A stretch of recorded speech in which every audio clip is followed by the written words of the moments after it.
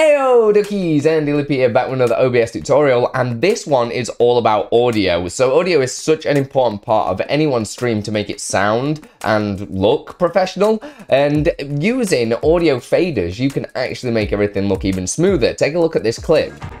Oh no. Oops. So as you can see, my good friend Waldo and Friends, make sure you go and check him out at twitch.tv forward slash Waldo and Friends. He is on a just chatting scene and he can basically move to his gameplay scene and it turns the game up. And if it moves back to just chatting, it turns it back down very smoothly and it makes that transition look really good. You can use this for a lot of different things. If you've got alerts that play music, you don't want your music overlapping. So you can fade your music down or fade your alerts up. So I'm to show you how to do that in this tutorial. Let's get into it. Put your rock up the stone.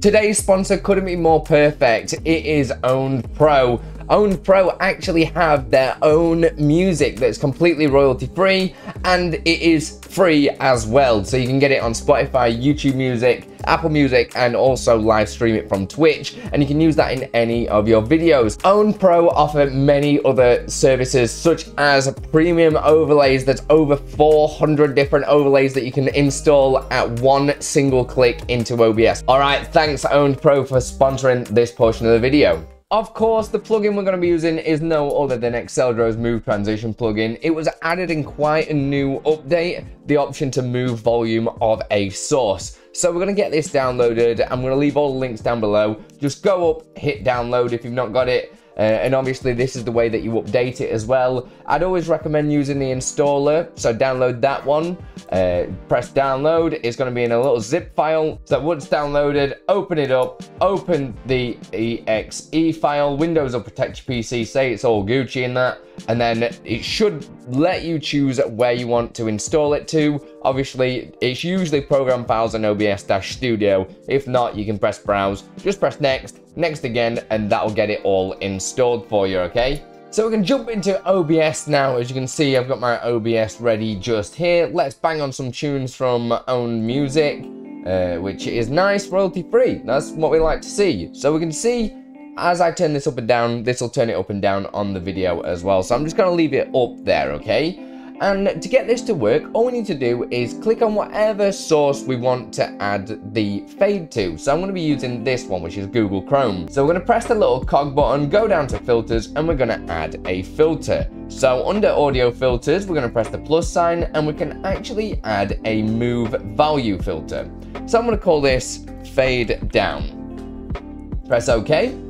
And the filter we're to access is none because we don't want to actually access a filter. We want to choose what we want to kind of change. And that is to be just single setting. So you can leave that as default. And then under setting, you'll actually see source volume, which not many people know that this exists. So we've got 0% just here, or we can get value and it will get the current percent. I'm to put it down to zero for first. And if we scroll down, we've got some more options. Similar to if you've used the Move Transition plugin before, we can say how long we want it to take to do a fade. So I'm going to put it down as a thousand milliseconds, so that's a second.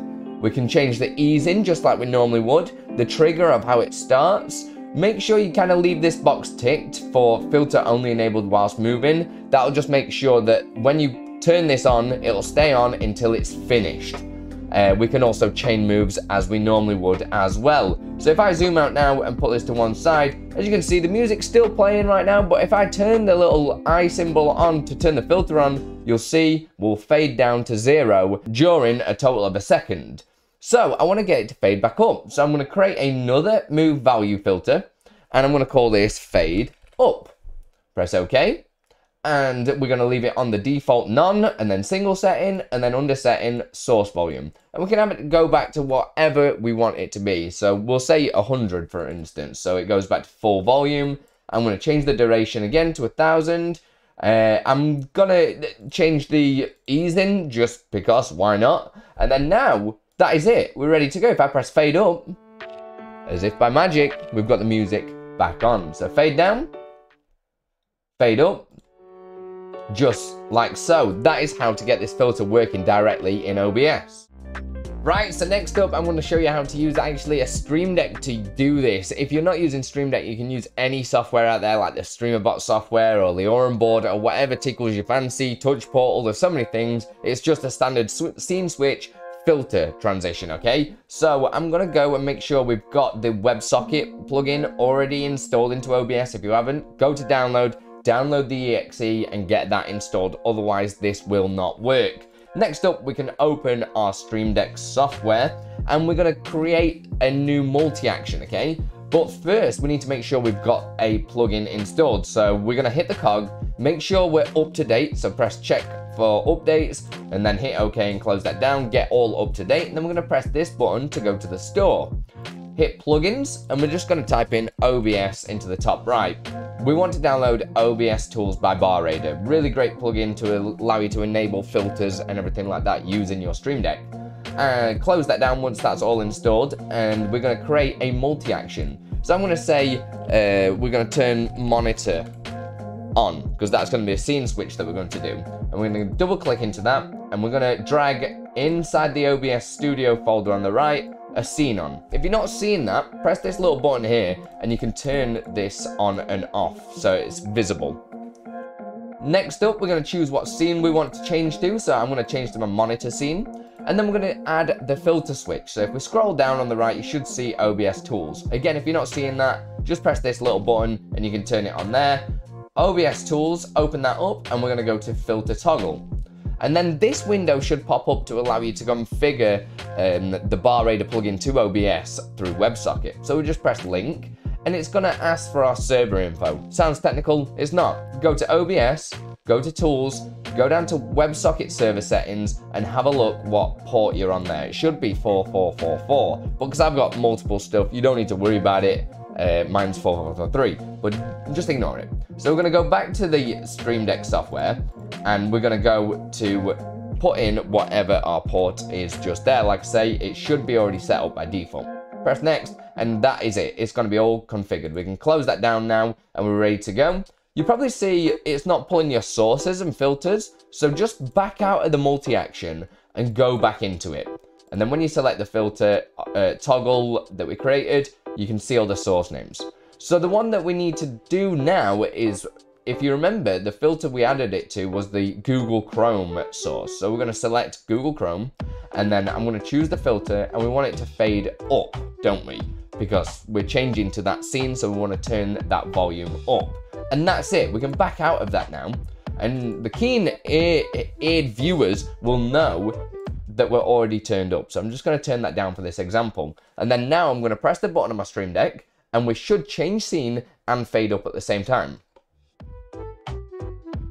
just like so. Obviously, that might be a little bit quick and janky, so we can actually slow that down in the settings if you remember. If we go to fade up, we can make it last a little bit longer, so it could take like three seconds maybe to, to turn on. So as you can see there, I've changed it to 3000 milliseconds, just so. So we need to have a button to switch back as well. So I'm gonna create another multi-action inside the Stream Deck, double click into it, and if you remember the first one was the scene switch, and we're gonna go back to the just chatting scene like so. Scroll all the way down to get the filter toggle button. I'm going to put that into there as well. And this time the source is the same because we want to turn it back down. But the filter we're going to do fade down. And then we can back out of that, close that down. And then now when I press it on my Stream Deck, you'll see we should fade down here and swap scenes. Just like so. I can swap back Takes a little bit longer to get in. Do you see how it can have a massive effect on your stream? That's pretty much all there is to it. Obviously, depending on which software you are using, you'll find the correct solution for you. If you want me to do individual videos on like the Aurum board and StreamerBot, then please let me know in the comments below and I'll get straight to it. All right, guys? I want to say a huge thanks to all these people just here that helped me make this content full time. Also, my new YouTube members that joined from the live stream, absolute legends. From if you want to help me from one pound a month, it is greatly appreciated. All right, put your rock that stone. I'll see you in the next video. Check one of these. Do it.